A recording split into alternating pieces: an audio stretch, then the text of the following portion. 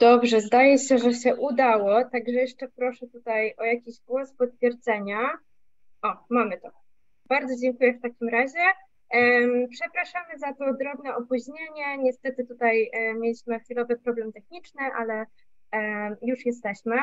E, także ja mam przyjemność rozpocząć dzisiejsze spotkanie. E, witam wszystkich, zarówno członków Forum Młodych Dyplomatów, jak i osoby, które oglądają nas na transmisji przez Facebook. Ze mną dzisiaj jest pani Justyna Cichowska z Kancelarii Prezesa Rady Ministrów, E, pan Marcin Chęć ze stałego przedstawicielstwa Rzeczypospolitej Polskiej przy Unii Europejskiej w Brukseli oraz dwójka stażystów programu Blue Book Komisji Europejskiej, pani Karolina Szafarowicz oraz pan Bartosz Rydel. Dzień dobry. Dzień dobry. Jeżeli chodzi o agendę dzisiejszego spotkania, to rozpoczniemy ją e, dwiema prezentacjami. Pierwsza będzie prezentacja pani Justyny e, o zatrudnieniu w instytucjach unijnych i kontynuować będzie pan Marcin. Później będziemy mogli również dowiedzieć się o takich praktycznych aspektach, e, praktycznych wskazówkach od starszych, niewiele od nas osób, czyli od pani Karoliny i pana Bartosza. Pozwolę sobie nie przedstawiać tutaj szerzej sylwetek naszych gości, ponieważ oni najchętniej, e, myślę, i najlepiej zrobią to sami. E, także nie przedłużając tego wstępu, proszę Panią Justynę o, o zabranie głosu i jeszcze o sygnał potwierdzenia tutaj, że, że widać naszą prezentację.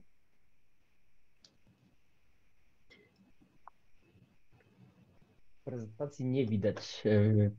Jest cały czas powiadomienie, że pani Justyna Ciechanowska zaczęła udostępnianie ekranu, ale to udostępnianie stoku, także może spróbujemy jeszcze raz udostępnić ekran. O, o już widać. mamy to. Już wszystko działa, także e, prosimy o zabranie głosu. Bardzo dziękuję. E, chciałam podziękować za zaproszenie Forum Młodych Dyplomatów e, i przede wszystkim Pani Karolinie za zorganizowanie tego spotkania. E, cieszymy się, że mamy razem z Marcinem i naszymi stażystami okazję spotkać się z Państwem, że poświęcacie nam Państwo swój czas, żeby dowiedzieć się kilku informacji na temat możliwości zatrudnienia w instytucjach Unii Europejskiej. Nasze spotkanie, tak jak już Pani Karolina wcześniej wspomniała, będzie podzielone na trzy części. E, moja będzie taka najbardziej teoretyczna i porządkująca może tę e, ogólną podstawową wiedzę, ale w naszej ocenie jest to bardzo e, wskazane. Natomiast dwie pozostałe części będą równie, jeżeli nie bardziej interesujące, bo będą przedstawiały dla Państwa takie naprawdę praktyczne już e, wskazówki, jak e, osiągnąć e, ten status pracownika w instytucjach unijnych. Jeżeli te wszystkie wstępne informacje Państwa zainteresują, to 10 maja kancelaria planuje takie szkolenie już całodniowe z przygotowania do egzaminów EPSO ono będzie w formule hybrydowej, mm, będzie część stacjonarna w Warszawie, ale będzie również zapewniony streaming, także już e, na wstępie chciałam bardzo serdecznie e, zachęcić i zaprosić, e, natomiast bliżej terminu będziemy przesyłali już konkretne informacje. Myślę, że nawet na pewno podzielimy się z Forum Młodych Dyplomatów informacją na ten temat, żebyście po prostu Państwo mogli z tego szkolenia skorzystać. Dzisiaj natomiast będziemy mówić na temat pracy w urzędach Unii Europejskiej i starali się zachęcić Państwa e, do rozważenia takiej kariery, ponieważ jest to naprawdę dobra okazja do pracy w międzynarodowym środowisku, do zdobycia e, doświadczenia i poznania e, różnych ciekawych kultur. Mm, praca w Unii Europejskiej e, daje mm, możliwość e, zatrudnienia na stanowiskach o zróżnicowanym charakterze i poziomie odpowiedzialności. Dlatego w mojej ocenie każdy e, kierunek studiów ma potencjalnie możliwości znaleźć zatrudnienie w takiej instytucji. Mm, teraz króciutko chciałabym powiedzieć, dlaczego akurat kancelaria zajmuje się tą promocją. E, w 2020 roku, do, do, tak praktycznie do 2020, promocja zatrudnienia była w ramach kompetencji Ministerstwa Spraw Zagranicznych. Natomiast te działania, które podejmujemy, one wynikają wprost z ustawy. Wcześniej były przy, przypisane właśnie ministerstwu od 2010 do 2020, natomiast w związku z przeniesieniem całego pionu europejskiego z Ministerstwa Spraw Zagranicznych do Kancelarii Prezesa Rady Ministrów, te kompetencje również zostały przeniesione do KPRM-u. Natomiast e, jest jeden odcinek, jeden, e, jest to Europejska Służba Działań Zewnętrznych, ESDZ, i on nadal pozostaje w ramach Ministerstwa Spraw Zagranicznych. Mm, jest to związane mm, bardziej z kompetencjami samego ministerstwa i specyfiką tej pracy. Jeżeli chodzi o sam KPRM, to e, Zatrudnienie znajduje się w Departamencie Komitetu do Spraw Europejskich. Jest to jednostka, która jest odpowiedzialna za promocję zatrudnienia do instytucji unijnych i w ramach tej promocji mm, my jako zespół e, przekazujemy, publikujemy informacje na temat konkursów e, na stronie kancelarii. Współpracujemy razem z EPSO, e, Europejskim Urzędem Doboru Kadr, z osobami, które zajmują, współpracują z EPSO w innych państwach członkowskich. Mm, razem z EPSO e, koordynujemy program Ambasadorowie Karier. E, myślę, że o tym programie również Państwo słyszeli. Jest to program dedykowany dla studentów.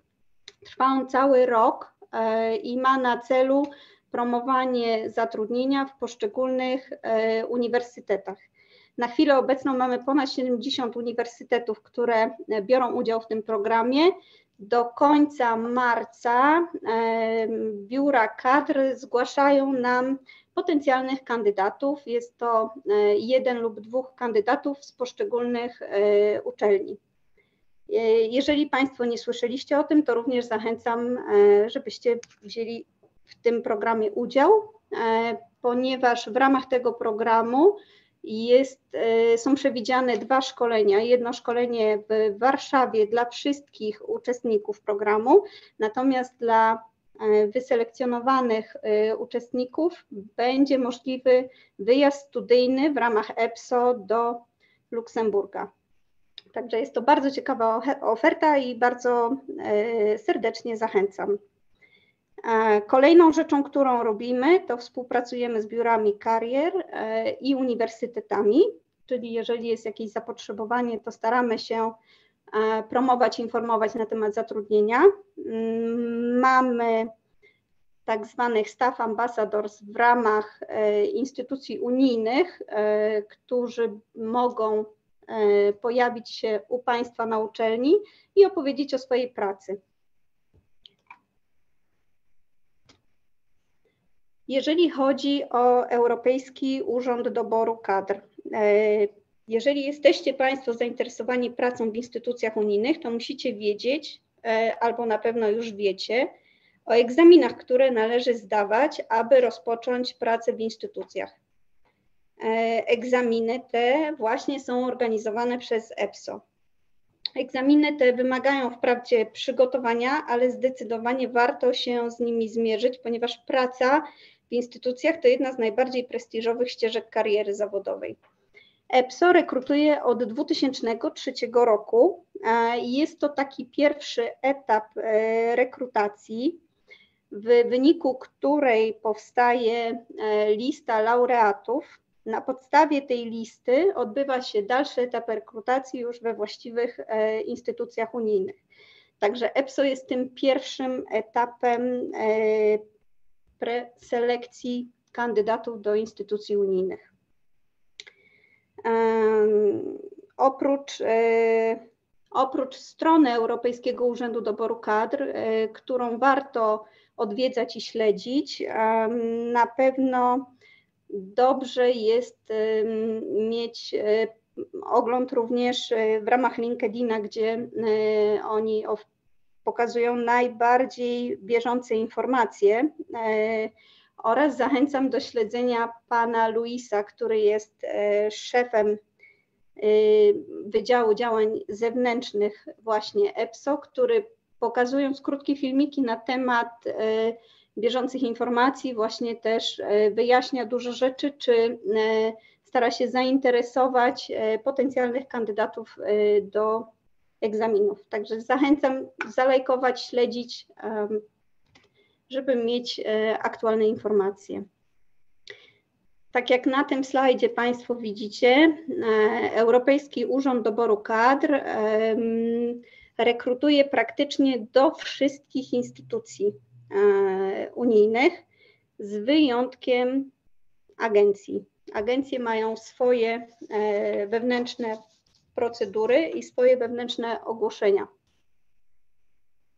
Znajduje się tutaj i parlament, i rada, i komisja, i trybunał, i, mm, także wszystkie kluczowe instytucje.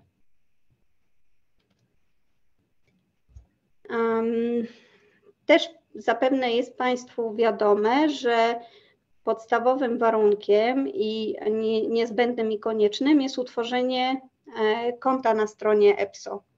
Jeżeli chodzi o właśnie te wszystkie procedury, e, chcielibyśmy więcej e, tych praktycznych wskazówek przekazać Państwu tego 10 maja, bo to będzie całodniowe szkolenie, właśnie też i dotyczące wskazówek, jak zarejestrować się jak podejść do tego egzaminu, z czego składa się ten egzamin. Także mm, zachęcam na chwilę obecną, tylko chciałam e, pokazać, że e, należy założyć takie konto, e, aby móc brać udział w, w rekrutacjach. Jeżeli chodzi o same niezbędne wymagania, to tak jak Państwo tutaj widzicie, nie ma ich dużo, więc z teoretycznego punktu widzenia ta rekrutacja powinna być dosyć e, prosta. E, natomiast diabeł tkwi w szczegółach. Jeżeli chodzi o podstawowe wymagania, to ta, tak jak tutaj jest wskazane, jest to obywatelstwo oraz dwa języki urzędowe. Jeżeli chodzi o profil właśnie lingwistów, to jeszcze wymagany jest jeden dodatkowy język urzędowy. Sama procedura rekrutacji w obecnej chwili jest e, długa. E, natomiast e, urząd stara się w, w tej chwili i cały czas skracać ten etap. Tutaj chciałam tylko zaznaczyć dwie, dwa etapy, czyli od momentu, tak jak widzicie Państwo, zapotrzebowania na pracowników do początku konkursu może minąć rok, do momentu rozpoczęcia konkursu, a od momentu rozpoczęcia konkursu do momentu zatrudnienia mogą nawet e, minąć dwa lata. I to jest to, na czym, e, nad czym obecnie pracuje EPSO, nad skróceniem tego, e, tych dwóch e, ostatnich etapów, czyli od momentu początku konkursu do wyboru laureata ma minąć nie, nie więcej niż pół roku i jeżeli chodzi o moment zatrudnienia, tutaj ten okres też ma być skrócony również do 6 miesięcy.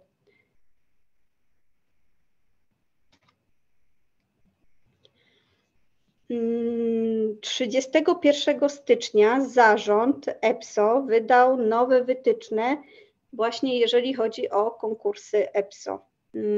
Ma być łatwiej. E, tak jak Państwo widzicie, pierwszą podstawową informacją ten konkurs ma mieć tylko i wyłącznie zdalną formułę. Do tej pory były dwie części. Była część komputerowa, czy tam zdalna i był wymóg jeszcze e, spotkania się e, w ramach Assessment Center. Teraz tego etapu już nie będzie. Egzamin natomiast będzie przeprowadzony tylko w ciągu jednego dnia, właśnie nie będzie rozbity na dwie części, co też ma przyspieszyć tę całą procedurę. Kolejną taką bardzo istotną rzeczą, e, która powinna ułatwić e, zdawalność tego egzaminu, te trzy części testu, które mamy, czyli werbalny, numeryczny i logiczny, e, do tej pory były oceniane w ramach tak zwanej mm, la, znaczy laureaci, czyli ci, co najlepiej e, zdali, czyli w ramach rankingu, o może tak, e, był ranking, czyli tylko te osoby, które najlepiej zdały ten test i najszybciej go napisały, miały możliwość znaleźć się na liście laureatów. Tej chwili EPSO postanowiło, że e, wystarczy 50% zdania tego egzaminu, aby znaleźć się na, e, na liście laureatów. Spowoduje to zapewne wydłużenie tej listy laureatów, bo tych potencjalnych e, osób, które zdadzą egzamin, będzie na pewno więcej, e, ale z drugiej strony też umożliwi większej ilości osób, na przykład z Polski, przejść do kolejnego etapu i być już wybieranym w ramach tej listy przez instytucje. Zamiast e, tego assessment center, o którym mówiłam, będzie test pisemny, tak zwany case study. I to będzie połączone razem z tym testem komputerowym. Mm, nowum, które będzie w ramach egzaminów, to test z wiedzy o Unii Europejskiej. Do tej do tej pory czegoś takiego nie było. Natomiast y, to, co EPSO nam sygnalizuje, że ten test będzie koncentrował się na pytaniach merytorycznych związanych z funkcjonowaniem Unii, a źródła będą dostępne na stronie EPSO. Natomiast chciałam zwrócić uwagę, że te źródła to na przykład mogą być traktaty więc znajomość jednak tych podstawowych rzeczy związanych z funkcjonowaniem Unii Europejskiej będzie wymagało trochę pracy. Dodatkową jeszcze jedną rzeczą związaną z nowym modelem to będzie e, wydłużenie, po pierwsze, przyspieszenie opublikowania listy rezerwowej, tak jak mówiłam wcześniej, do 6 miesięcy. Natomiast e, do tej pory było tak, że ta lista była ważna jedynie przez dwa lata, po czym ponownie należało zdawać ten egzamin. E, w tym momencie będzie mm, w przypadku e, konkursów na bardziej wyspecjalizowane stanowiska, wydłużona ważność tej listy, mm, nawet w przypadku niektórych e, specyficznych stanowisk może się tak e, zdarzyć, że ta lista będzie bezterminowa, czyli nie będzie konieczności zdawania ponownego e, egzaminu w ramach EPSO. Tutaj chciałam tylko przypomnieć, jeżeli chodzi o rodzaje zatrudnienia. Podstawowe mamy cztery. E, to są różne ścieżki kariery. Tak jak Państwo wiecie, AD to są urzędnicy. Mm, jest to najliczniejsza grupa pracowników e, instytucji unijnych, którzy zostają zatrudnieni w drodze otwartych konkursów. E, contract agents są to osoby, które są przydzielane do konkretnego zadania. I to są bardziej takie e, funkcje administracyjne, biurowe czy sekretarskie. E, to są też zadania rachunkowe albo zadania techniczne językowe. I tutaj e, również są egzaminy i aplikuje się, to jest dosyć istotna rzecz, na profil, a nie na konkretne stanowisko. Jeżeli chodzi o temporary agents, E, czyli pracowników tymczasowych. Są to osoby już z bardzo specyficzną wiedzą i są to osoby przeważnie wysoko wykwalifikowane. Mm, ich kontrakt e, jest maksymalnie do 6 lat. Mm, ostatnią grupą są to eksperci narodowi, są to osoby, które są zatrudnione w ramach administracji państwowej. Więc y, te konkursy są raczej, mają ograniczony, y, ograniczony dostęp i charakter. Należy być najpierw pracownikiem y, administracji polskiej, żeby móc startować w tych konkursach. Jeżeli chodzi o pozostałe takie dodatkowe stopnie zatrudnienia, to tak jak Państwo widzicie, są to jeszcze asystenci parlamentarni, ich e, kadencja jest e, związana bezpośrednio z, z kadencją europosłów. Są też pojedyncze osoby zatrudnione przez Agencję Pośrednictwa z Pracy i e, właśnie też stażyści. Tutaj chciałam pokazać Państwu, co robi komisja, żeby być atrakcyjnym pracodawcą. Oprócz dobrych zarobków, mm, komisja stara się nadążyć za obecnym rynkiem pracy i cały czas pracuje nad poprawą warunków pracy swoich pracowników. Komisja jest jednym z największych pracodawców w Europie. Zatrudnia około 30 tysięcy osób w 43 dyrektoriatach generalnych w 200 miejscach pracy. W Brukseli, samej Brukseli jest zatrudnionych około 22 tysiące osób. Mm, prawie 100% e, z osób zatrudnionych w komisji ma wykształcenie wyższe, a dodatkowo ponad 60% pracowników ma jeszcze wykształcenie podyplomowe albo doktoranckie, więc to jest naprawdę wysoko wykwalifikowana kadra.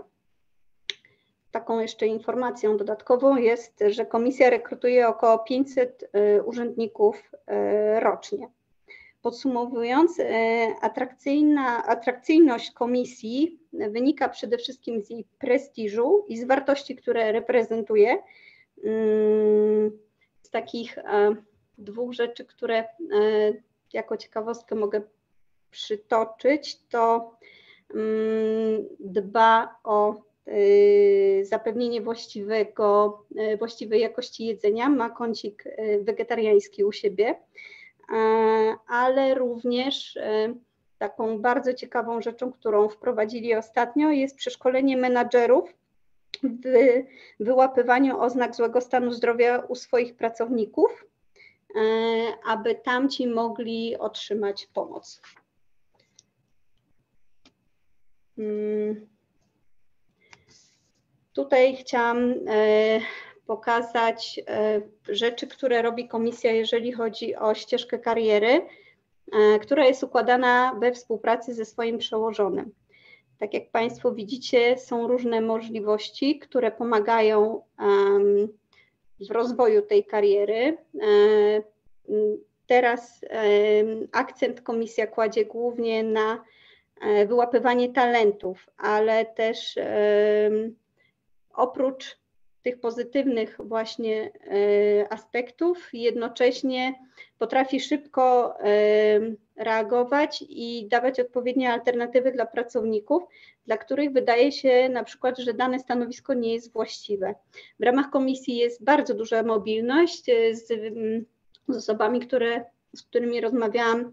Jest to mniej więcej 7 lat na jednym stanowisku, zanim jest y, przekwalifikowanie, y, więc ta mobilność tam jest dosyć e, spora. I e, to, co komisja zapewnia, to na pewno regularne oceny pracowników i informację zwrotną. Tutaj chciałam Państwu pokazać e, siatkę płac, jak ona się od zeszłego roku kształtuje. Tak jak Państwo widzicie, na najniższych stanowiskach e, podstawowa płaca wynosi mniej więcej 3,5 mm, tysiąca euro. Na najwyższym, czyli na tym 16 poziomie, sięga ona już e, do 20 tysięcy. Także rozrzut jest dosyć spory. Tych stanowisk najwyższych oczywiście nie ma najwięcej, nie ma ich zbyt dużo, ale tak, e, tak w chwili obecnej ta siatka się pracuje i jest ona regularnie e, rewaloryzowana. Mm, oprócz tej podstawowej płacy e, pracownik ma zapewnione również dodatki. Tak jak Państwo widzicie, w ramach dodatków jest przewidziany dodatek dla rodziny na gospodarstwo domowe. Mm, jest to wyliczane, że 2% wynagrodzenia dodać 200 euro, czyli na najniższym stanowisku to jest około jakieś dodatkowe 300 euro. Jeżeli mamy dzieci, to również z tego tytułu przysługuje pracownikowi dodatek. Jeżeli to dziecko się uczy, to przysługuje jeszcze kolejny dodatek. Każdy mniej więcej 300-400 euro. Mówimy cały czas o tej najniższym, najniższej siatce, bo to wzrasta też y, mm, wraz ze wzrostem płacy.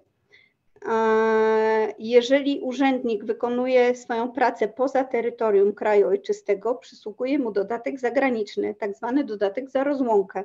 Jest to 16% sumy złożonej z wynagrodzenia, dodatku za gospodarstwo i dodatku za dziecko. E, więc te płace są bardzo zróżnicowane.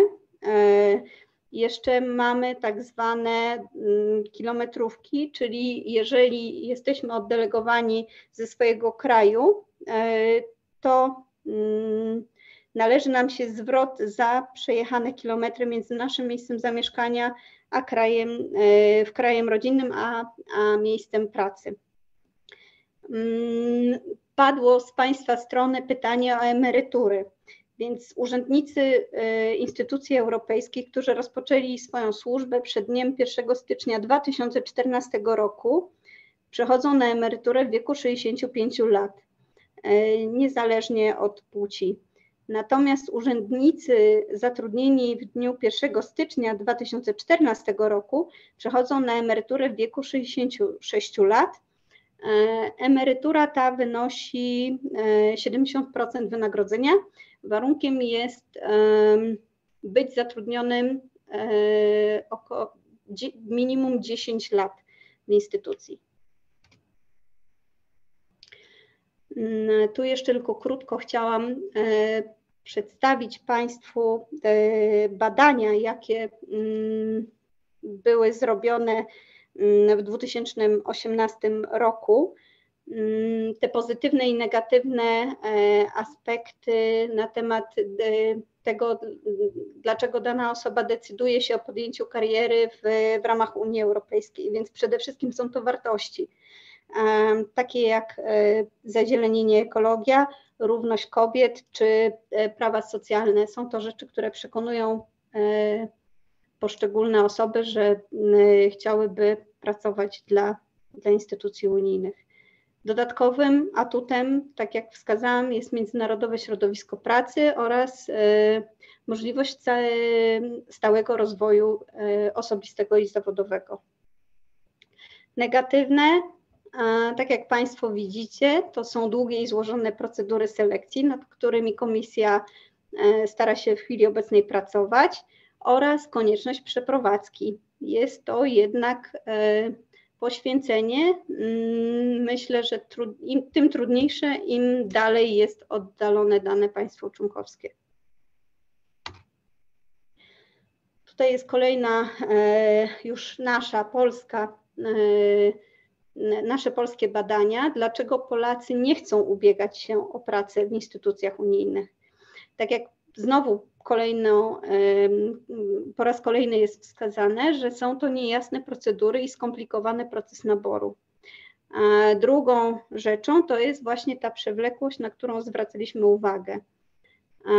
na dalszym etapie jest to, że e, osoby są w stanie znaleźć bardziej atrakcyjną ofertę na, mm, na polskim rynku, a jeszcze dodatkowe, tak jak e, było też wcześniej wskazane, czyli konieczność wyjazdu.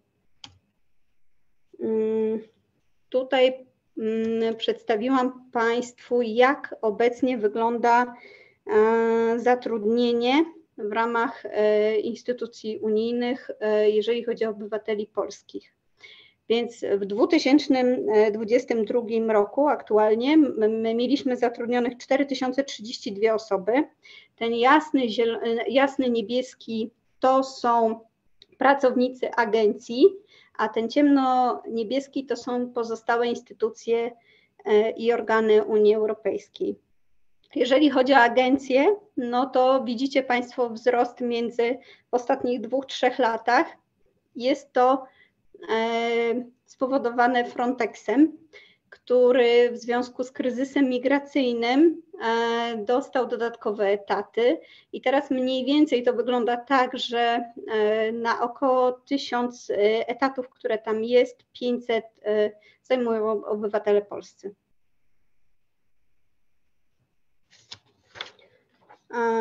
Tutaj na ostatniej stronie chciałam Państwu pokazać strony, na których e, jest możliwość szukania pracy w instytucjach. Tak jak wskazałam na samym początku, jest to głównie EPSO, ale dodatkowo warto zaglądać na poszczególne, e, na poszczególne instytucje i organy. Tutaj macie Państwo przykładowo podaną e, sekretariat generalny, właśnie Frontex albo Trybunał jeżeli będziecie Państwo potrzebowali jakichś dalszych informacji e, lub pomocy z naszej strony, nasz zespół będzie bardzo chętnie służył Państwu radą. E, proszę sobie zapisać nasz adres. Ja w tej chwili chciałam oddać głos e, Marcinowi, który przedstawi bliżej informacje na temat już praktycznych wskazówek dotyczących Blue Booków. Bardzo dziękuję Państwu za uwagę i życzę powodzenia podejmowaniu decyzji dotyczących Waszej kariery zawodowej. Bardzo dziękujemy. To ja pozwolę sobie jeszcze tutaj na moment zabrać głos. Bardzo dziękujemy za tą wyczerpującą i kompleksową prezentację. E, na czasie do tej części na razie nie pojawiły nam się pytania na spotkaniu, natomiast mamy pytanie, e, dwa pytania w zasadzie o to samo, czyli o kwestii aplikacji na profil. Wspomniała Pani właśnie o tej możliwości aplikacji na konkretny profil. Czy mogłaby Pani powiedzieć nam e, o tym coś więcej? To są pytania z transmisji. Mm, na profil, e, to znaczy jest e, przede wszystkim ten główny egzamin na urzędnika, ten ogólny AD na najniższy stopień, czyli AD5, ale są też egzaminy przewidziane na tak zwanych ekonomistów albo właśnie mm, lingwistów, tak? No to, e, to jeżeli chodzi o sam, e, sam, e, sam, sam ten podstawowy egzamin, no to on jest taki najbardziej obszerny, najbardziej popularny, tak? Nie wiem, szczerze powiedziawszy, czego by dotyczyło to pytanie, czy można e, znaleźć przykładowe. O ile pamiętam pytanie? dobrze, to to pytanie się pojawiło chyba w kontekście tego, co Pani mówiła o kastach. O kastach. Tak, to, e, to znaczy to jest e, troszeczkę inny rodzaj egzaminu. To jeżeli chodzi o samych kastów, to faktycznie to, mm, to, to są egzaminy dla właśnie tego niższego szczebla. To nie są egzaminy na urzędników, tylko na pracowników pracowników do sekretariatów, czy tam e, do, e, do biur ekonomicznych, tak? E, I one są dużo, dużo prostsze, natomiast on, ich przykładowe egzaminy się znajdują na przykład na stronie trainee i do, zarówno do tych egzaminów na AD i na castów, więc można sobie zobaczyć stopień trudności. Świetnie, bardzo dziękujemy za tę odpowiedź, a jeżeli w międzyczasie pojawi się jakieś rozszerzenie tego pytania na e, transmisji, to... to Staram będziemy... się odpowiedzieć. Super, bardzo, bardzo dziękujemy. E, I tutaj w międzyczasie jeszcze kolejne pytanie, które zostało już zaadresowane na czacie, ale żeby też e, osoby, które nas oglądają, mogły mieć możliwość zapoznania się z odpowiedzią. Pytanie brzmi, czy można znaleźć gdzieś przykładowe pytania egzaminacyjne z zeszłych lat? Panie Marcinie? Tak, y, dzień dobry. Y, takie pytanie można znaleźć na stronie EU Training. Też takie pytania mamy, y, dlatego że wasz, Państwa poprzednicy przygotowali pewną bazę pytań, do których można się zalogować ewentualnie i skorzystać ucząc się do egzaminów. Także jest to możliwe, ale jeżeli Państwo chcą zobaczyć, jak przykładowo to wygląda, to polecam stronę EU Training albo stronę EPSO. Świetnie, bardzo dziękujemy. Jeżeli nie ma na ten moment więcej pytań, to ja poproszę już o kolejną prezentację. Dobrze. A w międzyczasie zapowiem, że analogicznie prosimy o zadawania, zadawanie pytań na czacie i na transmisji w komentarzu. Dobrze, czy Państwo widzą prezentację? Tak, widać. Super, świetnie. No to możemy zacząć. E, chwileczkę. Już. E, dzień dobry Państwu, nazywam się Marcin Chęć, e, reprezentuję stałe przedstawicielstwo Rzeczypospolitej Polskiej przy Unii Europejskiej w Brukseli, konkretnie Wydział Spraw Prawnych i Instytucjonalnych. Razem z kolegą Filipem pracujemy w zespole do spraw promocji zatrudnienia obywateli polskich w instytucjach unijnych. Jesteśmy takim, taką komórką wykonawczą dla zleceń, które przychodzą albo z Kancelarii Prezesa Rady Ministrów, albo z polskiego MSZ. W naszej komórce zajmujemy się zarówno kwestiami zatrudnienia naszych obywateli już bezpośrednio w instytucjach unijnych, promocją ich kandydatur na wyższe stanowiska, ale też kwestiami staży. I ze swojej strony będę chciał Państwu dzisiaj przedstawić możliwość uporządkować, przedstawić albo dopełnić Waszą wiedzę na temat staży lub praktyk, jakie są w instytucjach unijnych, ale też odniosę się do kilku innych kwestii. Dobrze, a przepraszam, mam jakiś kłopot, jeszcze jeden. OK.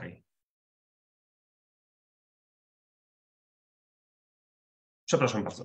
Dobrze. To, co Państwu będę chciał przedstawić, to przede wszystkim podstawowe informacje na temat staży, jakie są, jak one wyglądają, jakie są kryteria.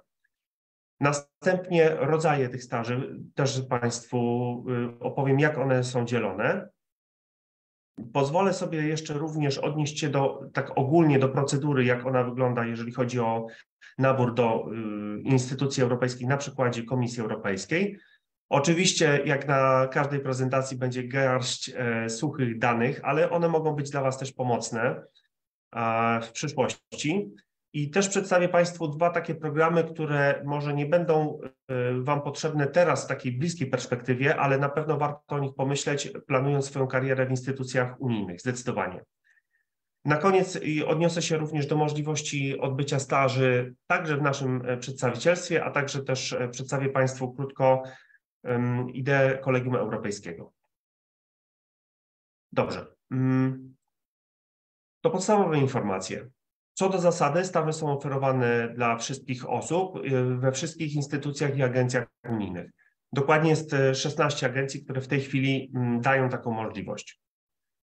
Y, jeżeli chodzi o staże, to Państwo przede wszystkim Przede wszystkim po, po radzę, sugeruję zapoznać się ze stronami EPSO dotyczącą e, staży, ale też Państwu później wskażę konkretne strony instytucji, które e, dokładnie wskazują, jakie są możliwości, jakie kryteria odnoszące się do staży. Staże są płatne. E, nie są to jakieś wysokie stypendia, ale na tyle, znaczy są one w takiej wysokości, że pozwalają utrzymać się w Brukseli. Y, staż co do zasady trwa 5 miesięcy, jeżeli chodzi o instytucje europejskie, natomiast zdarzają się miejsca, w których ten staż może być dłuższy lub krótszy i jest to na przykład Parlament Europejski. Mm. Następnie czas trwania stażu. Dla Komisji i dla Parlamentu Europejskiego y, ten staż jest, odbywa się w dwóch edycjach. Pierwsza zaczyna się w marcu i kończy w lipcu, druga zaczyna się w październiku i kończy w lutym roku następnego. E, tutaj proszę zapamiętać jedną rzecz. Jest pewna różnica, jeżeli chodzi o staże, które odbywają się w razie Unii Europejskiej. Te staże odbywają się i kończą miesiąc wcześniej, czyli zaczynają się w lutym i kończą w czerwcu i odpowiednio zaczynają się we wrześniu i kończą w styczniu roku następnego. Rada, jak każda instytucja, cieszy się dużą autonomią, więc ona też ma prawo do kształtowania y, już polityki stażowej. Szczegółowe dane dotyczące staży można znaleźć na stronach internetowych, to Państwu później przekażę. I teraz y, aplikowanie na staż jest zwykle ustalone, ale do niektórych agencji można zgłosić się y, w każdej chwili, to też warto wchodzić na ich strony ale też warto kontaktować się czasami z biurami poselskimi posłów w Parlamencie Europejskim i tam można już sobie ustalić odrębne zasady, na jakich odbywa się staż. Co do zasady, nie ma limitu wiekowego dla kandydatów do stażu. Teraz, teraz, teraz średnia wieku stażysty to jest około 26-27 lat. Kilka lat temu było to średnia powyżej 30, także ta, ta granica y, stopniowo się obniża. Jeżeli chodzi o podstawowe kryteria, to oczywiście studia wyższe. Już y, można składać y, aplikację, jeżeli ma się tytuł licencjata. Po drugie, to jest bardzo ważna rzecz, o której należy pamiętać. Nie można mieć doświadczenia zawodowego w instytucjach europejskich, które przekracza więcej niż 6 y, tygodni. Jeżeli tak będzie, to wtedy kandydat jest odrzucany. Y, pojawia się pytanie, dlaczego takie obostrzenie? Idea Blue Booka jest następująca, czy generalnie staży w instytucjach europejskich jest taka, że mm, mają one oferować możliwość poznania instytucji europejskich jak najszerszemu gronu odbiorców. Dlatego y, raczej niechętnie patrzy się na osoby, które już mają jakieś doświadczenie w instytucjach y, unijnych.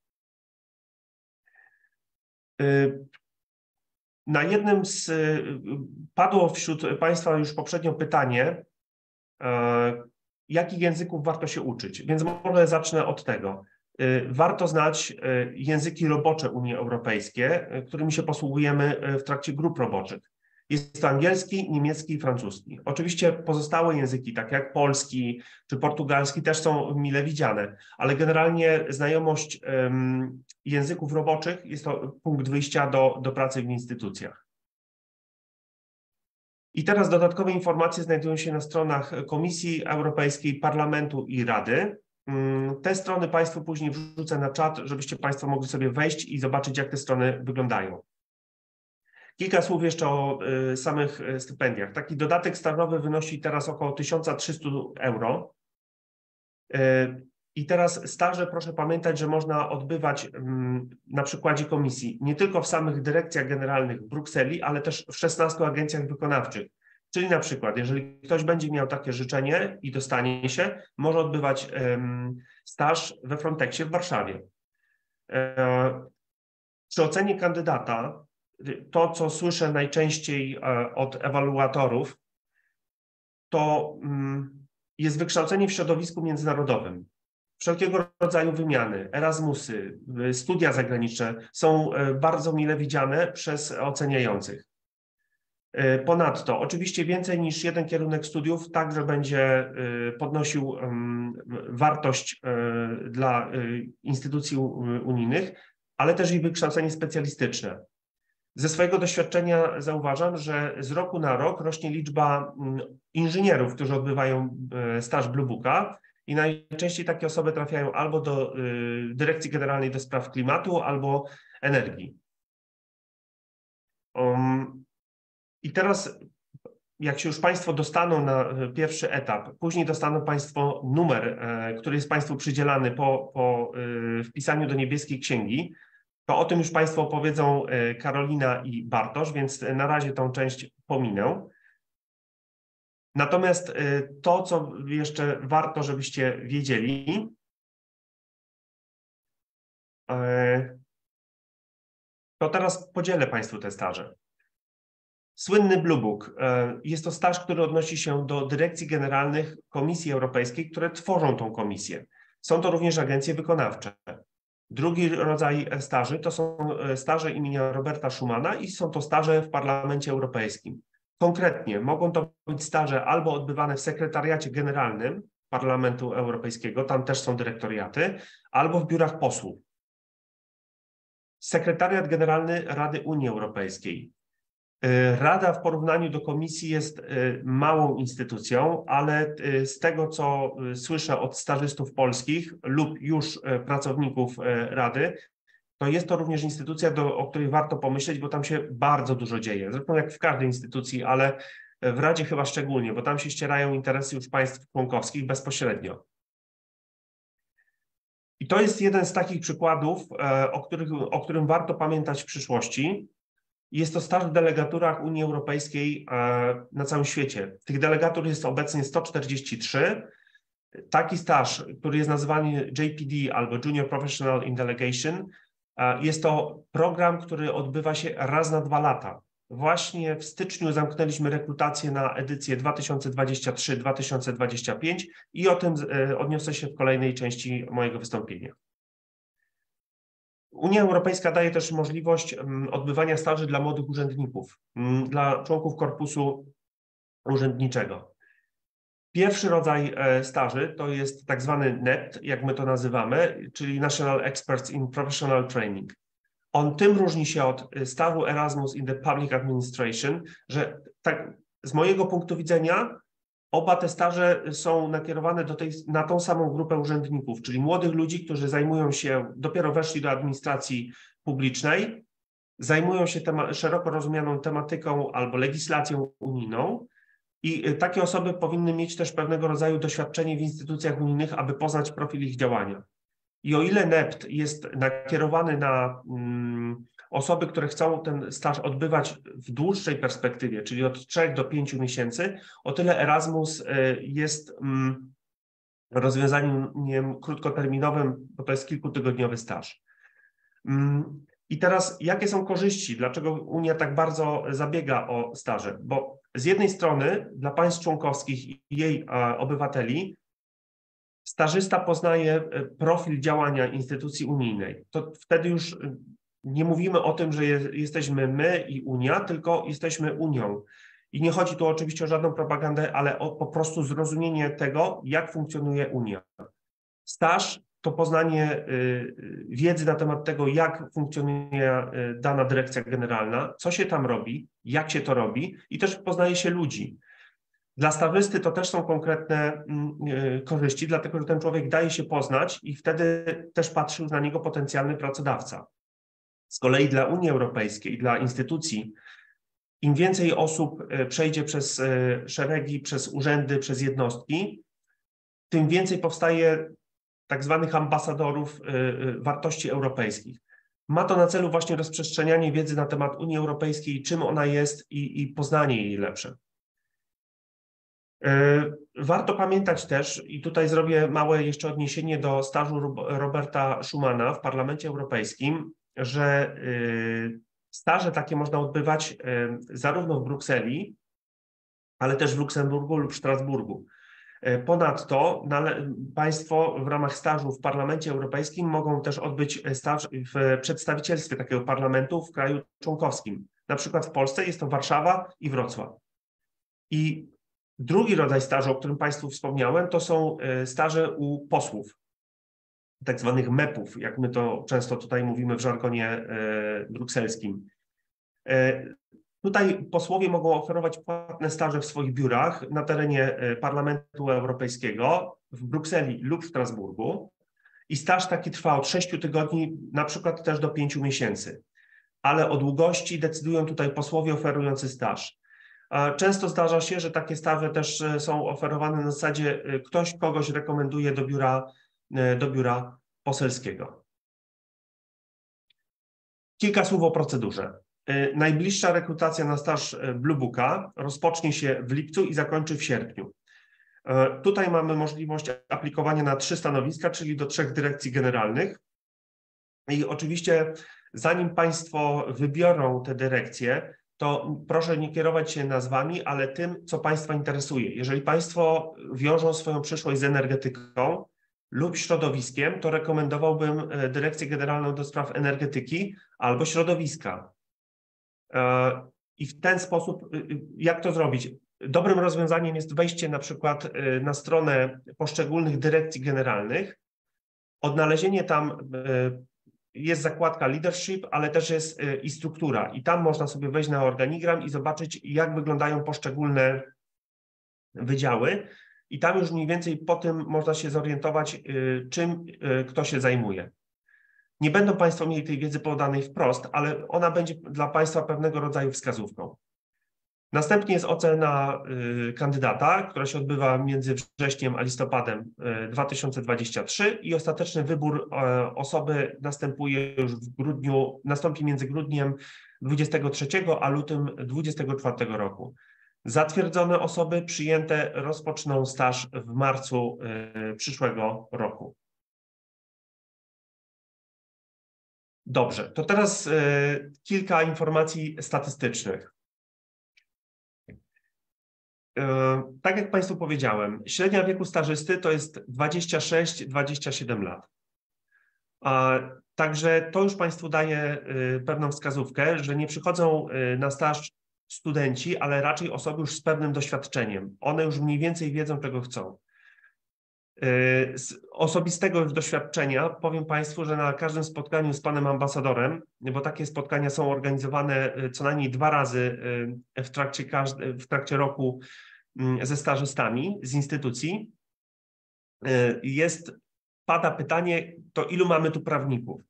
I zazwyczaj to jest połowa sali.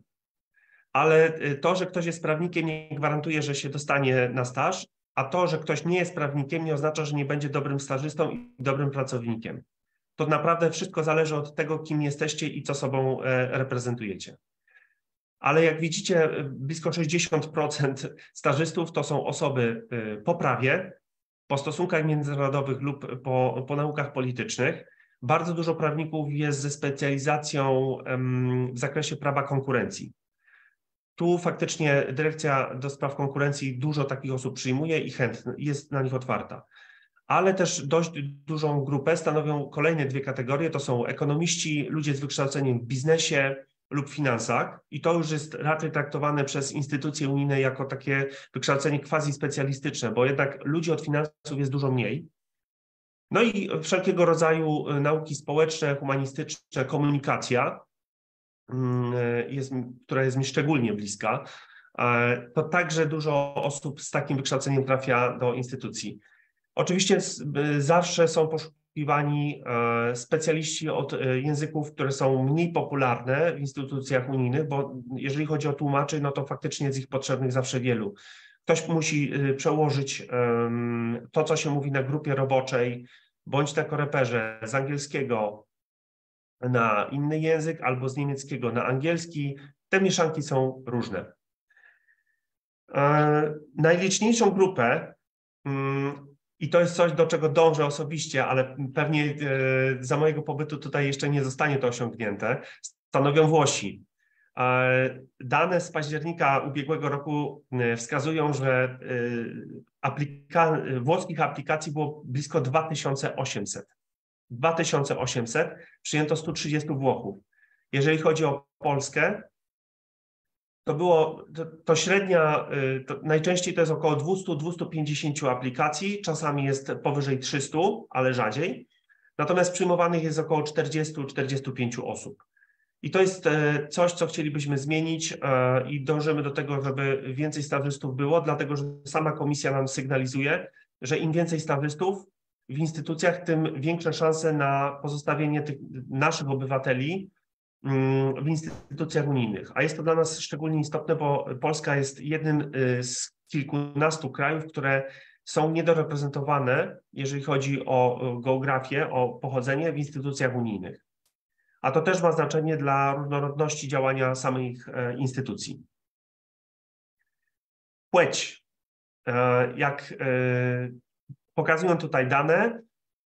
E, przewagę mają panie, czyli panowie e, tutaj e, muszą chyba poprawić trochę składanie aplikacji, bo panie są bardzo dobrymi stażystkami, są świetnie przygotowane i tak jak mówię, to nie wynika wyłącznie z tego, że komisja postawiła sobie za cel absolutne wyrównanie płci, tylko akurat jeżeli chodzi o stażystów, to tutaj kładzie się przede wszystkim nacisk na kompetencje. I tutaj e, jeszcze to są dane z października ubiegłego roku, no to tutaj mieliśmy 41 Polaków przyjętych e, e, na ubiegłoroczny staż, a aplikacji było złożonych 205. Także no to jest mniej więcej tak, jak to wyglądało w ubiegłym roku. OK. I teraz e, chciałbym Państwu przedstawić zasygnalizować Państwu jeden program stażowy, który jest przeznaczony już dla osób, które dostaną się do Komisji Europejskiej. Junior Professional Program jest to program stażowy wewnętrzny, to znaczy jest on oferowany, tak jak powiedziałem, już dla osób zatrudnionych w Komisji Europejskiej. Jest to program dwuletni, na razie przynajmniej tak będzie wyglądał, chociaż w planach jest jego rozszerzenie do trzech lat i celem jego jest wsparcie młodych pracowników komisji i podniesienie ich kompetencji. Komisji bardzo zależy na tym, że jeżeli ktoś już trafi do DigiNear albo DigiNR, to nie powinien tylko tam zbierać doświadczenia, ale w ramach właśnie Junior Professional Program powinien e, szukać albo zobaczyć, jak wygląda praca innych dyrekcji generalnych. Więc pierwszy rok wygląda w ten sposób, że po sześć miesięcy spędza się w różnych dyrekcjach generalnych, a na drugi rok wraca się do dyrekcji macierzystej. Czyli jeżeli ktoś został przyjęty do DigiNear jako stażysta, to trafia z powrotem e, też do, do DigiNear. Z Polski do tej pory przyjęto w dziewięciu e, edycjach 10 osób, ogólnie wszystkich laureatów jest 250. Także tutaj też konkurencja jest dość, e, dość duża, ale nie jest tak, że Polacy nie mają w tym programie żadnych szans. I to jest e, coś, o czym chciałbym, e, na co chciałbym szczególną uwagę zwrócić osobom, których, e, które wiążą swoją karierę z szeroko rozumianą dyplomacją unijną. Junior Professional in, in the EU Delegation jest to program stażowy, jak powiedziałem, który jest przeznaczony dla, dla osób, które chcą pracować w unijnej dyplomacji. Tutaj można odbyć staże w jednej ze 140 delegatur unijnych na całym świecie. Teraz podaję Państwu dane na przykładzie tej ostatniej edycji, która jeszcze trwa wyłonienie kandydatów, dlatego że na początku y, kwietnia jeszcze zbierze się specjalna komisja w Akademii Dyplomatycznej, gdzie po preselekcji zostanie wysłanych 8 e, propozycji ze strony polskiej. I Komisja Europejska razem z SDZ-em wybiorą wtedy dwóch najlepszych e, kandydatów z Polski. E, kto może złożyć taki wniosek? Obywatelstwo państwa członkowskiego Unii Europejskiej. To jest podstawa. Po drugie, dobrze jest mieć stopień uniwersytecki odpowiadający tytułowi magistra w dziedzinie właściwej dla określonej delegatury. Brzmi to trochę mm, może w tej chwili mgliście, ale o co chodzi? Stanowiska są podzielone. Są, y, w delegaturze są stanowiska przypisane dla Komisji Europejskiej i dla y, Europejskiej Służby Działań Zewnętrznych, czyli naszej dyplomacji unijnej. Bardzo y, ważny warunek. Znajomość języka angielskiego i języka francuskiego. To jest coś, co jest kryterium jeszcze podniesionym, wyśrubowanym przez stronę polską, dlatego że na przykład w trakcie ostatniej edycji instytucje unijne postawiły warunek, że to musi być bardzo dobra znajomość języka angielskiego lub i francuskiego. Z naszej strony w preselekcji będziemy brać pod uwagę i e, najwyżej punktować osoby, które biegle znają i angielski, i francuski. Oczywiście nie, nie musi to być równorzędny poziom, ale raczej biegły, e, e, czy bardzo dobra znajomość języka francuskiego będzie w cenie. Dlaczego? Są takie delegatury, gdzie region, w którym one się znajdują, są, jest frankofoński, a zatem jest potrzebny tam język francuski. Może być też przewaga obywateli e, francuskich lub krajów francuskojęzycznych i tam dla lepszej integracji tego środowiska no, też dobrze jest znać francuski. E, w tym roku też dobrze, e, jako warunki dodatkowe będzie też mile widziana znajomość na przykład języka rosyjskiego lub portugalskiego. A jeżeli chodzi o znajomość rosyjskiego, to tutaj Polacy mają już e, pewien atut. E, trzeba oczywiście wykazać duże zainteresowanie i motywację do pracy w delegaturze. E, dlaczego? Zdziwiliby się Państwo, jeżeli ktoś z Was tego nie widział, jak szczegółowy jest kwestionariusz aplikacyjny o przyjęcie do programu. To jest 12 stron, na których naprawdę trzeba się wypisać dość konkretnie, jeżeli chodzi o swoje osiągnięcia, wykształcenie, znajomość języków, rekomendacje.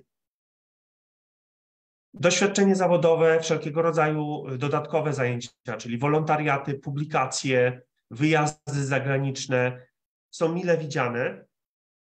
I, to, I tutaj jeszcze Państwu pozwolę sobie zamieścić odniesienie do poprzedniej edycji. Nie wiem, czy ta strona jeszcze będzie funkcjonowała, czy już jej ESDZ nie zamknął. Natomiast jeżeli kogoś to zainteresuje, to oczywiście proszę o kontakt, bo zostawię do siebie dane, ale najbliższa rekrutacja rozpocznie się w styczniu 2025 roku. Będzie trwała zapewne miesiąc, ale do tego czasu dobrze się jest po prostu już przygotować do wypełnienia tej aplikacji i ją bardzo dokładnie przeczytać. I też y, pewnie Karolina i Bartosz o tym wspomną, ale też zrobię jeszcze, y, odniosę się na chwilę do składania samych aplikacji mm, stażowych do Komisji Europejskiej czy do Parlamentu. Zalecam bardzo dokładne zapoznanie się z instrukcjami i przestrzeganie terminów. Naszą słabością jako kandydatów, y, i to nam komisja podpowiada, jest często to, że nie przestrzegamy właśnie takich y, formalności i na tym są już odrzucane nasze kandydatury dla komisji jest to sprawa zero-jedynkowa. Jeżeli sobie nie radzisz z, ze sprawami formalnymi, to może nie powinieneś pracować w komisji. Dlatego proszę o tym pamiętać, żeby dokładnie przeczytać instrukcje. One, to jest wszystko dokładnie rozpisane, ale trzeba tego po prostu przestrzegać. Jeszcze, I teraz wrócę jeszcze do y, DPD, czyli staży w delegaturach unijnych. Tak jak powiedziałem, staże można odbywać w 143 delegaturach. I na przykład osoby z jeszcze poprzedniej edycji mm, programu 21-23 e, wyjątkowo ze strony polskiej wybrano nie dwie, ale trzy osoby, dlatego że przedstawiliśmy tak dobre zgłoszenia, to wtedy jedna osoba trafiła do Rosji, druga na Madagaskar i trzecia chyba do Uzbekistanu, o ile dobrze pamiętam. Te osoby sobie same wybrały swoje regiony, w których chciały pracować, bo, bo to była ich pasja i tak właśnie wyjechały. Ale tak jak podkreślam, co prawda dla każdego z państw członkowskich są tylko dwa miejsca, natomiast jeżeli będzie naprawdę bardzo dobrze, to wtedy komisja może pójść na pewnego rodzaju jeszcze e, wyjść na prost, e, naprzeciw oczekiwaniom państw członkowskich.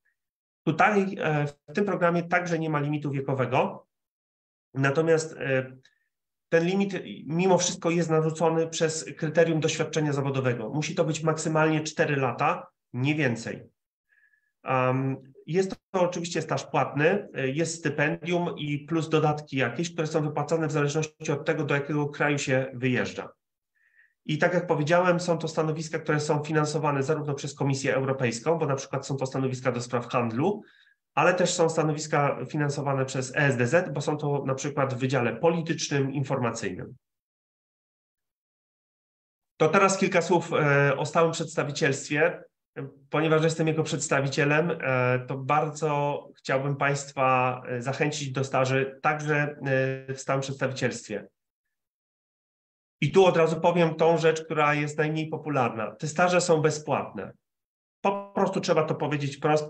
Takie są uwarunkowania w polskiej administracji i tak to funkcjonuje. Natomiast to, że jest to staż bezpłatny, nie oznacza, że będzie on nudny, a stażysta może kojarzy, przyszły stażysta, potencjalny stażysta może y, mieć wrażenie, że będzie parzył kawę. Nic z tych rzeczy i na pewno nie w stałym przedstawicielstwie przy Unii Europejskiej czy NATO. Formularz y, aplikacyjny należy przesłać drogą pocztową lub elektroniczną na adres wybranej placówki zagranicznej. To jest ogólna zasada. Decyzję o zakwalifikowaniu kandydata podejmuje kierownik placówki zagranicznej, czyli w tym wypadku pan ambasador. I co powinno zawierać takie zgłoszenie? Po pierwsze, formularz aplikacyjny.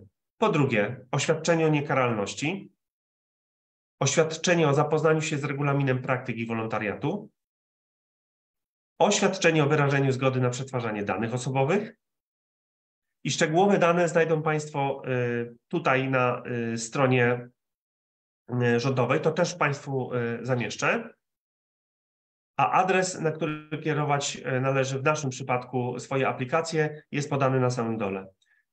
I teraz już konkretnie, jeżeli chodzi o stałe przedstawicielstwo. W naszym przypadku e, zalecam Państwu składanie aplikacji e, z dwu, trzymiesięcznym okresem wyprzedzenia.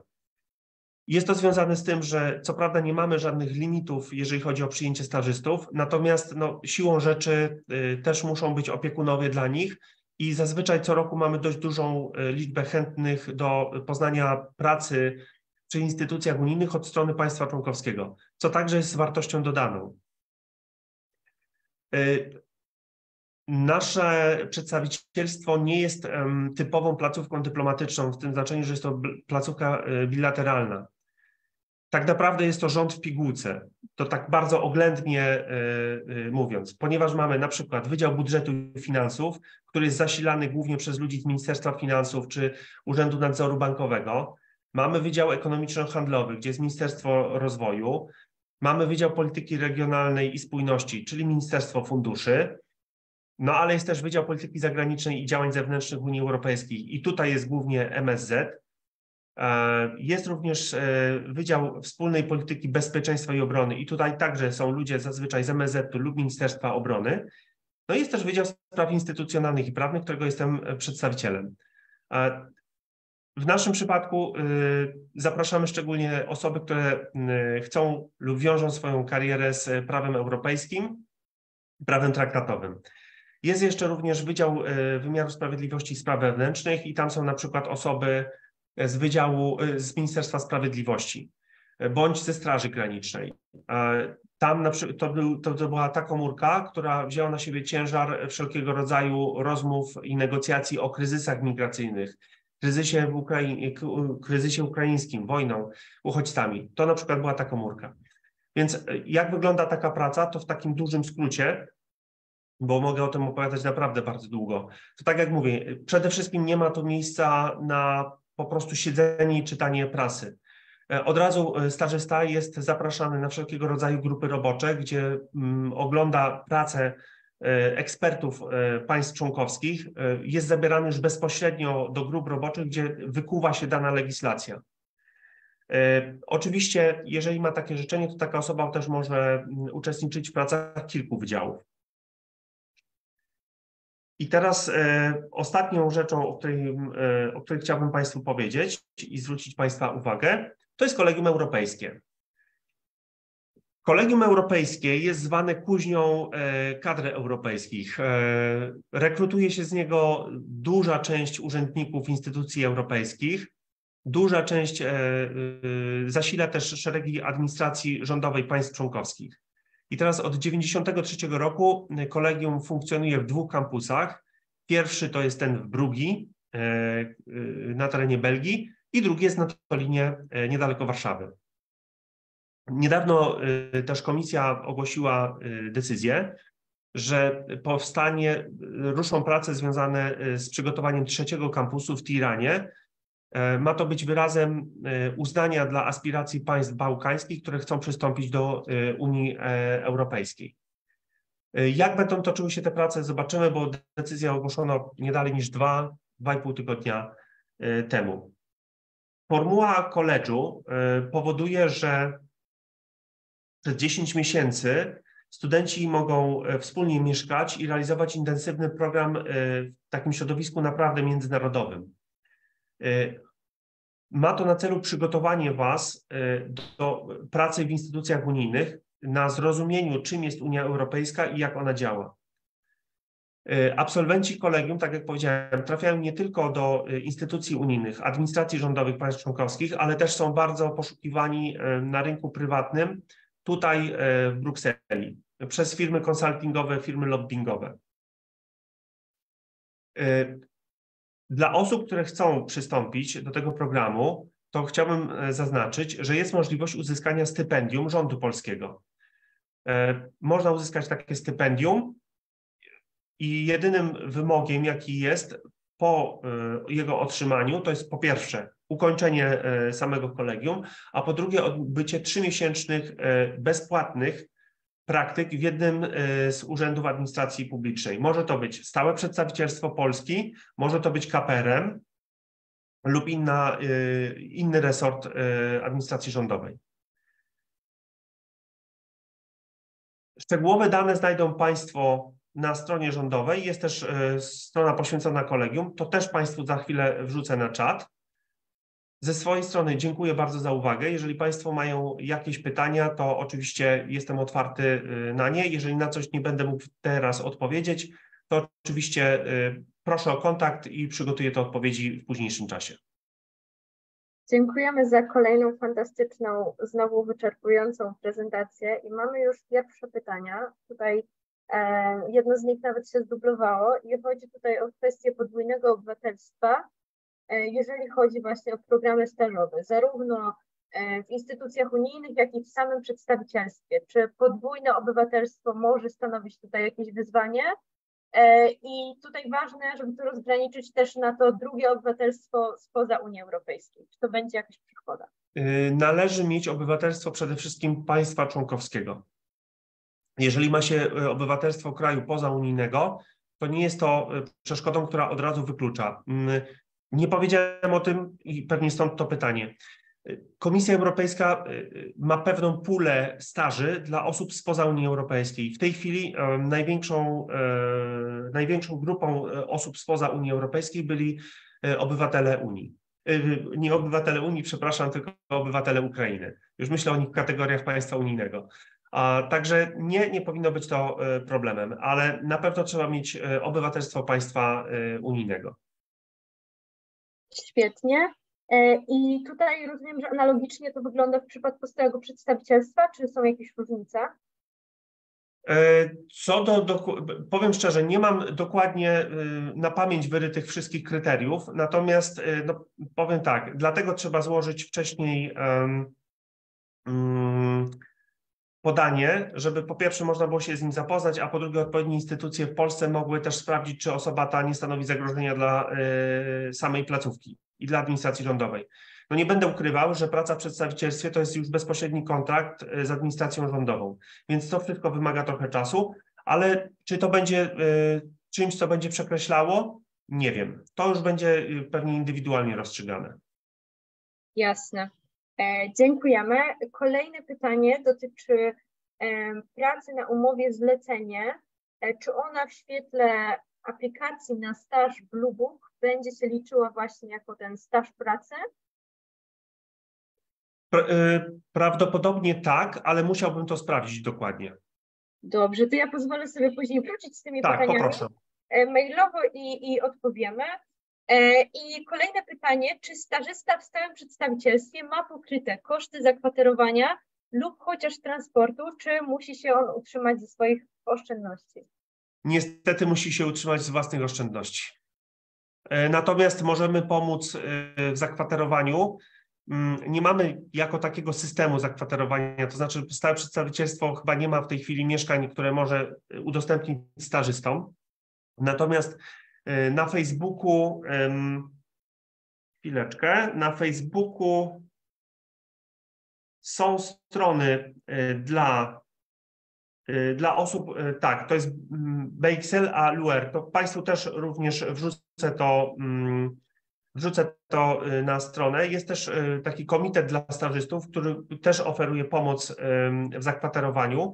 Jest także strona na Facebooku Polacy w Brukseli i tutaj też można szukać krótkoterminowego wynajmu. Problem duży jest taki, że w Brukseli jest trudno znaleźć mieszkanie na krótki czas.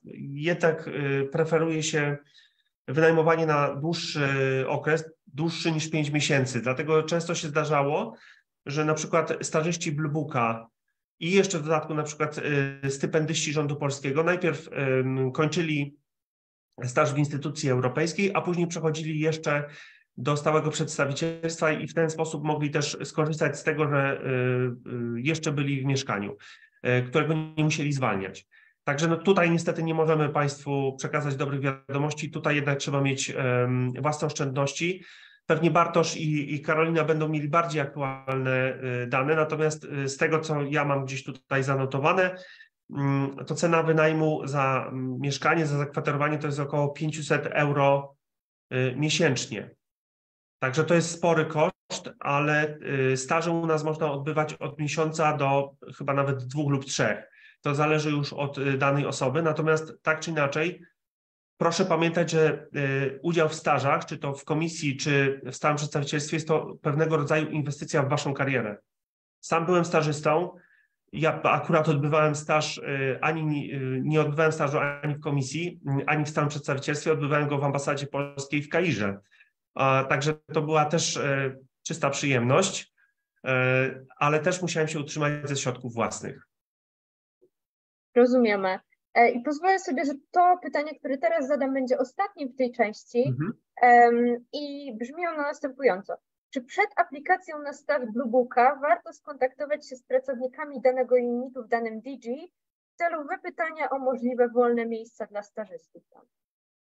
Pewnie to zaraz zostanę skorygowany przez e, Karolinę i Bartosza, ale e, raczej przed dostaniem się, to znaczy chodzi przed składaniem aplikacji. E, pytanie tego dotyczyło, ale podejrzewam, że analogicznie też po procesie to również będzie ważna kwestia. To po procesie, owszem, są pewne triki, które Państwu kolega i koleżanka y, przedstawią. Ja też o tym słyszałem, ale nie będę, nie będę w tej chwili y, y jeszcze wchodził w, w nowe wątki. Natomiast przed składaniem aplikacji raczej nie. Warto dokładnie zapoznać się z y, czym, fun jak funkcjonuje poszczególne dyrekcje generalne. Do mnie też się zgłasza sporo osób, które pytają i mm, później kierunkują się już przy składaniu aplikacji na, na konkretną dyrekcję generalną. Bo czasami ma wyobrażenie, a y, rzeczywistość no, znacznie od siebie odbiegają. Jasne. E, no to w takim razie płynnie e, z tego pytania myślę, że możemy już przejść do krótkich, e, jeżeli mogę prosić wypowiedzi naszych stażystów. Pani Karolino, bardzo prosimy o odniesienie się do tych kwestii, że Pani zna ten proces um, najbardziej aktualny. Będziemy wdzięczni za, za wszelkie wskazówki. Dziękuję bardzo. Dobry wieczór raz jeszcze i dziękuję też za zaproszenie na spotkanie. Postaram się jak najbardziej zmieścić w wyznaczonym czasie i podzielić się tym, co, tym, co, tym, co mogę, e, swoim doświadczeniem. Jak będą tylko jakieś pytania, to, to myślę, że to będzie tym bardziej wartościowe. E, no skąd w ogóle u mnie pomysł na staż e, się wziął? Ten staż, który teraz robię, zaczęłam w, w marcu, czyli niecały miesiąc temu w komisji jako, jako Blue Book. Nie jest moim pierwszym stażem międzynarodowym i pierwszym doświadczeniem międzynarodowym, więc również mogę się odnieść do tego, co już było powiedziane, to znaczy faktycznie E, wcześniejsze doświadczenie międzynarodowe odgrywa dużą rolę i w, w rekrutacji, w tym w, formularzu aplikacyjnym było to bardzo zaznaczone, że, że, e, że trzeba jakieś wcześniejsze międzynarodowe doświadczenie mieć. No i po prostu po, po tych swoich wcześniejszych doświadczeniach postanowiłam spróbować e, dostać się również do, do komisji, no i, i się udało. Teraz pracuję, tak jak, tak jak wspomniałam, w, w sekretariacie generalnym. Taka codzienna praca e, polega w moim przypadku na przygotowywaniu projektów decyzji komisji, e, na analizie poszczególnych spraw, e, ich ocenie prawnej. Starzyści biorą również udział w, w wielu spotkaniach, przygotowują notatki z raportów, notatki, raporty, prezentacje różnego rodzaju. No ale taki, taki staż to nie jest tylko praca w tym, w tym dziale, do którego się trafi, ale także udział w programie stażowym um, przygotowywanym przez ten tak zwany Traineeship Office, e, czyli mamy, mamy cały, cały do wyboru program różnych dodatkowych e, szkoleń, z których możemy korzystać, czy, czy prezentacji, które, które są dla nas przygotowywane przez pracowników również innych instytucji unijnych. Natomiast jeśli chodzi o takie praktyczne wskazówki, jak podejść do, do e, aplikowania, no to przede wszystkim trzeba zacząć dużo wcześniej o tym myśleć i nie zostawiać tego, broń Boże, na ostatnią chwilę. E, w moim przypadku cały proces gromadzenia dokumentów, e, bo musicie wiedzieć, że, że ta aplikacja na pierwszym etapie to tak naprawdę jest przesłanie masy dokumentów, które potwierdzają wasze, wasze kwalifikacje i, i to, że możecie się ubiegać o taki staż no to tak naprawdę był, był e, miesiąc, oczywiście z przerwami, no ale to jakby trwa. Wypisanie tych wszystkich, wszystkich osiągnięć, które się ma, e, wszystkich e, kwalifikacji, dyplomów, zaświadczeń itd. Tak, tak jak było też już dzisiaj powiedziane, ta forma aplikacji lubi się zmieniać.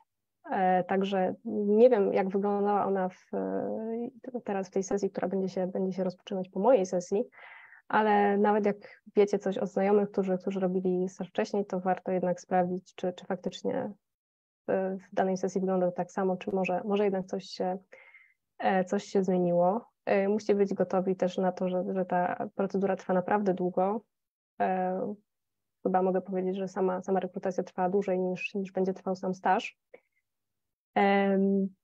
Z takich powiedzmy może bardziej taktycznych uwag, to jeśli już przejdziecie ten pierwszy etap i dostaniecie się do tej wstępnie wybranej grupy, grupy potencjalnych stażystów e, i będziecie mieć już dostęp do e, opisu poszczególnych stanowisk, na które, na które można, można aplikować, to bardzo ważne jest, żeby znaleźć unit, gdzie będziecie mogli wykazać się, że robiliście już coś, coś podobnego, żeby znaleźć jak najwięcej tych punktów wspólnych między swoim, swoim CV, swoim doświadczeniem, a tym, czym zajmuje się, zajmuje się dany, dany unit.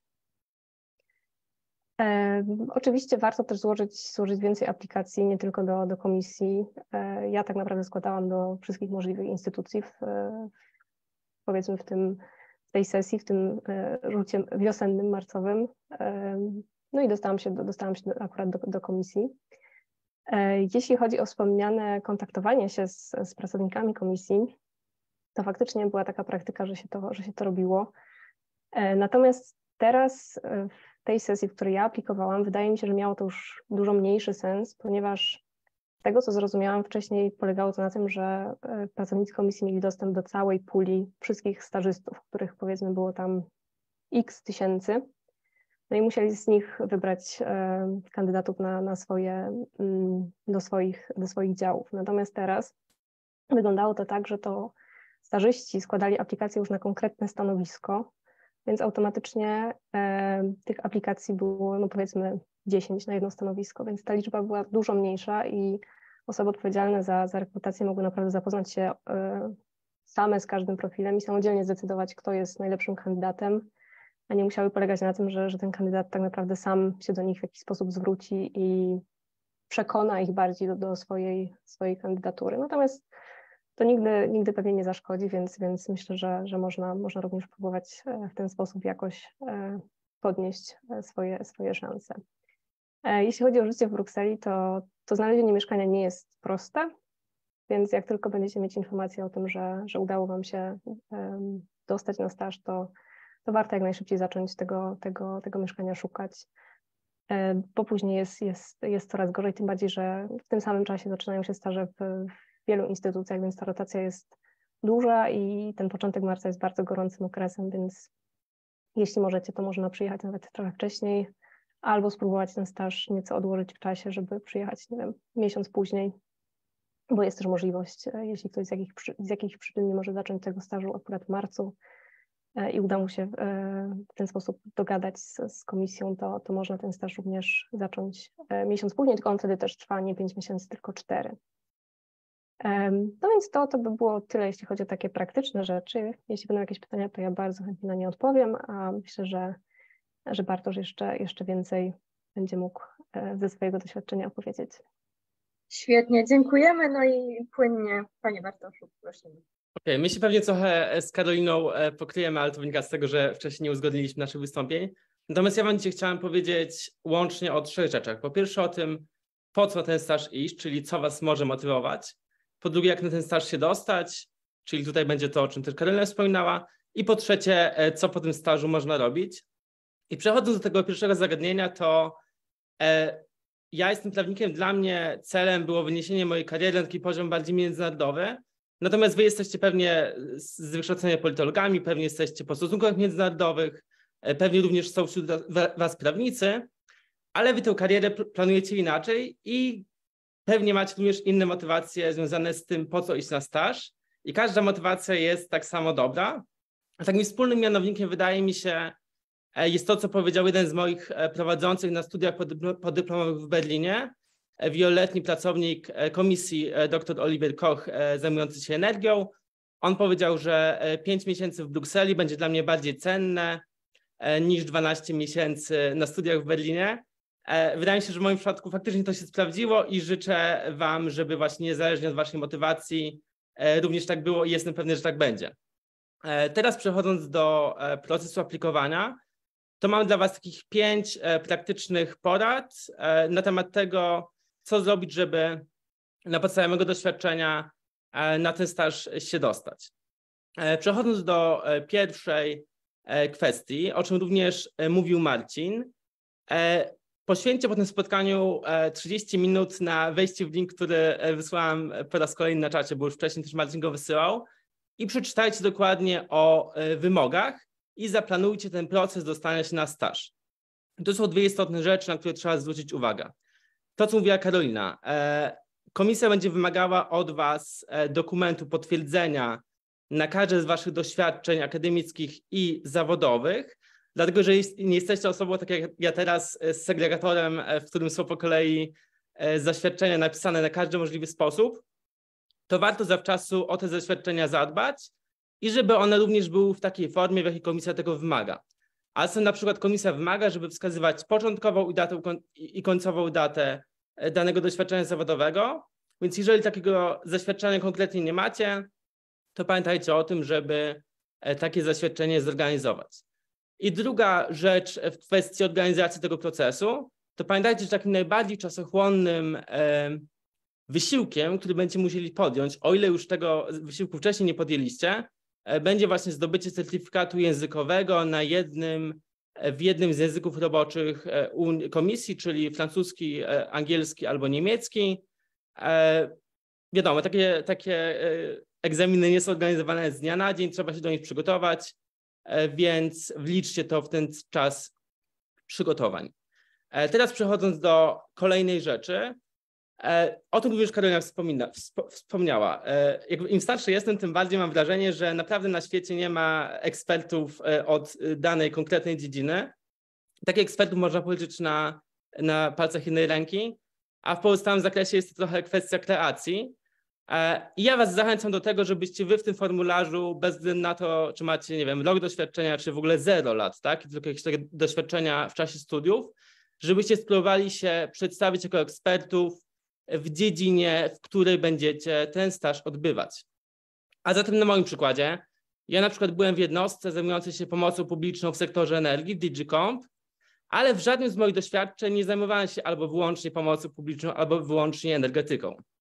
Natomiast jeżeli w którymkolwiek z moich doświadczeń mogłem wskazać, że chociaż w jednym promilu robiłem coś związanego z tym właśnie zagadnieniem, e, to ja to do formularza wpisywałem i to oczywiście musimy pamiętać, jak nie możemy kłamać, natomiast uwypuklić pewne rzeczy e, w pełni możemy, tak? Jeżeli to jest zgodne z prawem e, i e, zgodne z prawdą i do, do tego Was serdecznie zachęcam. A druga bardzo istotna sprawa, jeżeli chodzi o formularz, to tak jak Karolina też wspominała, zawarcie wszelkiego doświadczenia międzynarodowego, które posiadacie. Znowu na moim przykładzie, ja na przykład dwukrotnie odbyłem dwutygodniowe staże w zagranicznych kancelariach, raz w Birmingham, raz w Barcelonie. I zapewne rozumiecie, że podczas dwóch tygodni tak naprawdę niewiele można się nauczyć takich rzeczy konkretnych, natomiast mimo wszystko ja te staże zawarłem, dlatego że pokazałem osobom oceniających, oceniającym moją aplikację, e, że jestem w stanie swobodnie poruszać się e, w środowisku międzynarodowym. E, kolejna rzecz, to zaangażowanie. Ja pod koniec e, swojego stażu odbyłem taką szczerą rozmowę z e, pracownicą, z taką moją adwajzorką, która mnie rekrutowała i ona powiedziała mi, że odbyła 10 rozmów rekrutacyjnych, ale już z 10 kandydatami, ale już po pierwszej rozmowie ze mną wiedziała, że, że chce zatrudnić mnie, a to ze względu na to, że brzmiałem na zaangażowanego.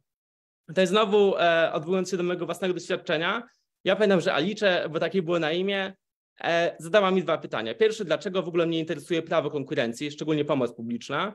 Ja tutaj na prędce taką pamiętam w biegu dosyć, bo to było, pamiętam, rozmowa w czasie moich zajęć z niemieckiego.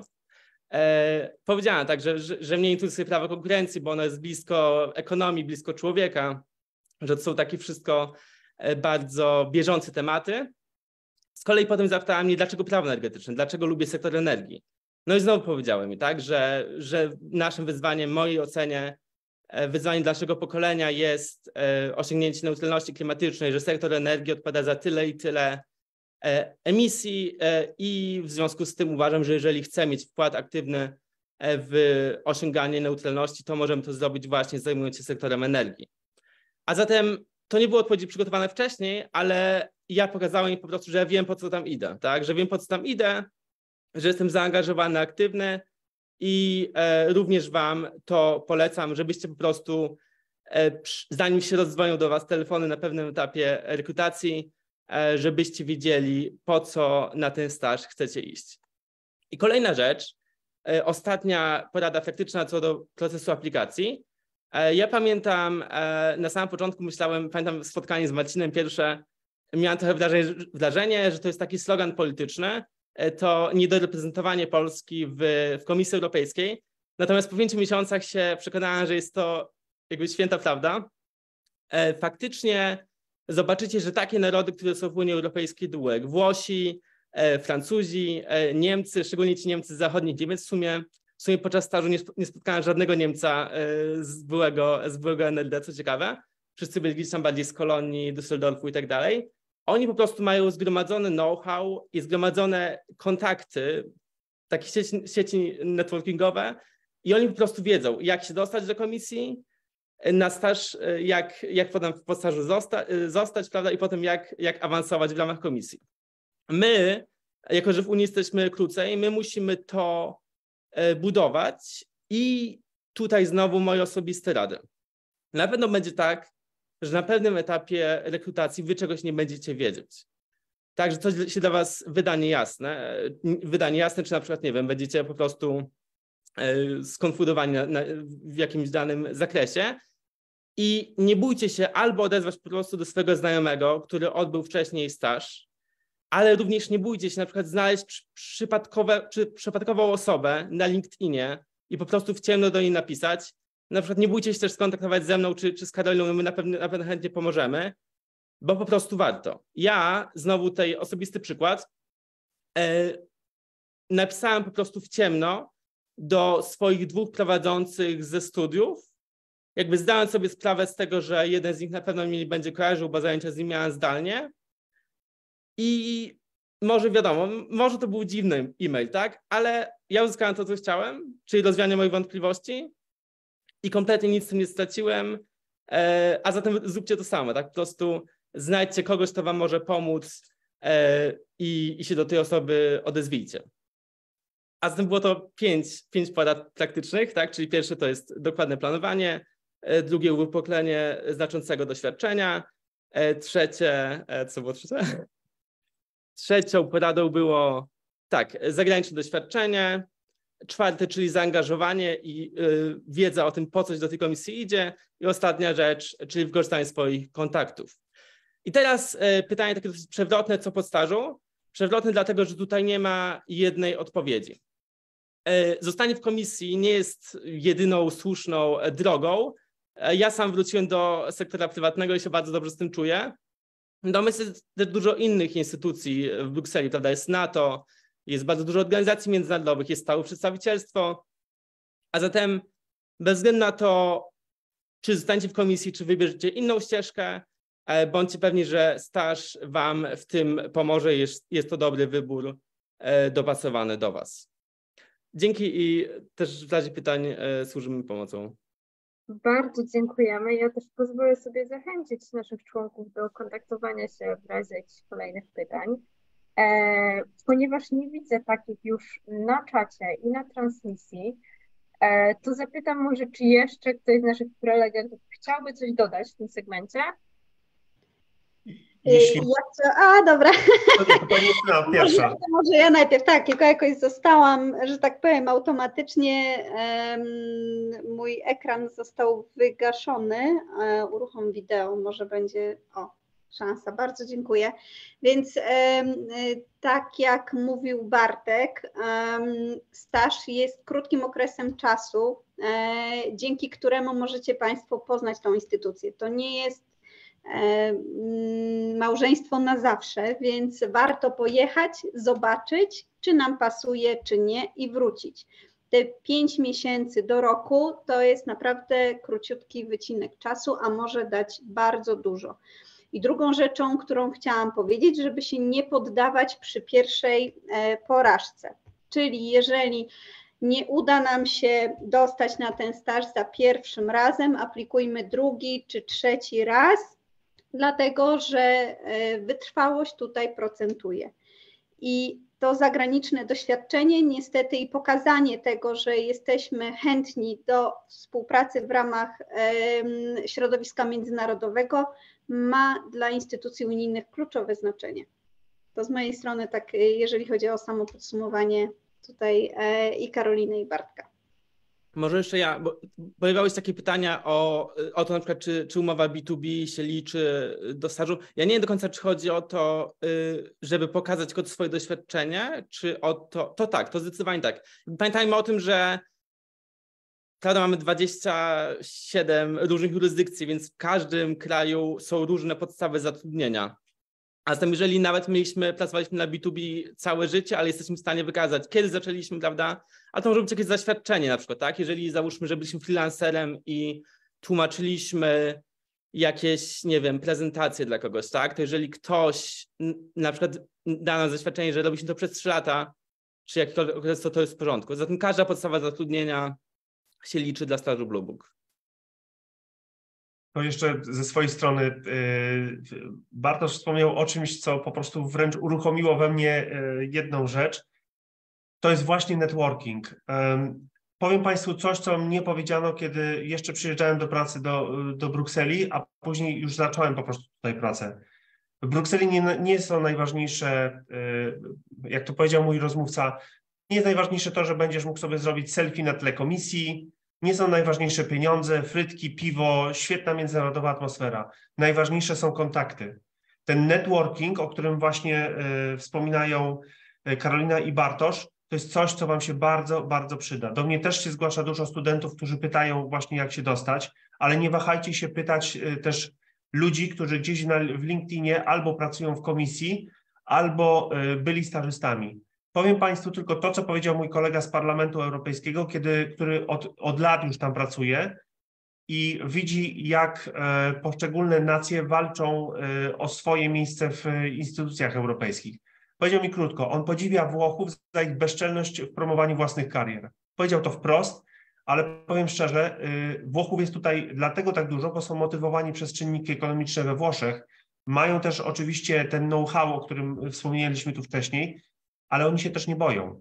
Nie bójcie się wchodzić w interakcję. Jeżeli ktoś z wami nie będzie chciał rozmawiać, to nie będzie chciał rozmawiać, ale jeżeli traficie na kogoś, kto jest e, ambasadorem karier lub pracował e, w komisji, być może was przynajmniej nakieruje, gdzie, w jakim kierunku pójść. Nie bójcie się pytać. Kto pyta, nie błądź Dziękuję bardzo. Super, bardzo dziękujemy. Myślę, że to było bardzo dobre podsumowanie. Bardzo dziękujemy Pani Justyno, Panie Marcinie, Panie Bartoszu i Panie Karolino za e, wszystkie tutaj wskazówki, za e, prezentację. E, bardzo dziękuję też wszystkim osobom, które tak licznie się pojawiły, również na transmisji. I tutaj na koniec również takie podziękowania wewnętrzne. Bardzo dziękuję Kubie Parol i Bartkowi Fischerowi za to, że to spotkanie mogło się odbyć również, jeżeli chodzi o kwestie takiego planowania i kwestie techniczne. Także jeszcze raz w imieniu Forum Młodych Dyplomatów bardzo dziękuję, że mogliśmy porozmawiać o tych możliwościach kariery w instytucjach unijnych e, i mam nadzieję, że to nie będzie takie ostatnie spotkanie. Dziękujemy. Dziękujemy bardzo. Dziękujemy Państwu. Życzę dobrego Dziękujemy. wieczoru.